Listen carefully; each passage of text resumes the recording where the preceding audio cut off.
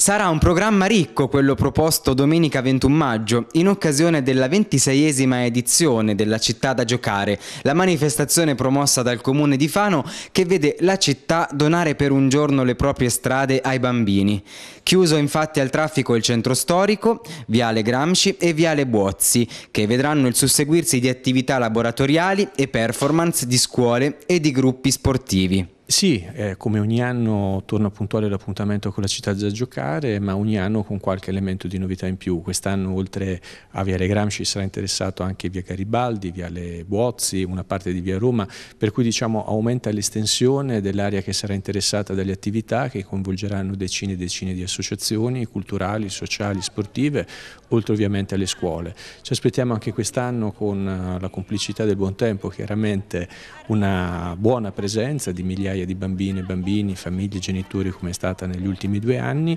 e quest'anno anche con eh, una serie di ulteriori novità che sono collegate a quel rilancio del progetto Città delle Bambine e Bambini che in questi anni l'amministrazione comunale ha sviluppato grazie al laboratorio Città dei Bambini, al CREMI, agli uffici tutti a partire dai servizi educativi ma eh, cercando anche di dare visibilità a quelle progettualità, penso in particolare a quella attivata nel eh, quartiere di Sant'Orso che in qualche modo stanno cercando di portare fuori diciamo, anche dagli appuntamenti, gli eventi, le manifestazioni come la città da giocare. Un progetto che chiama in causa dunque non solo la scuola e i servizi educativi, ma un po' tutti i settori, mobilità, verde pubblico, interventi di riqualificazione, con l'obiettivo di mettere i bambini nelle condizioni di riappropriarsi degli spazi pubblici con la consapevolezza di essere non solo cittadini del presente, ma soprattutto del futuro.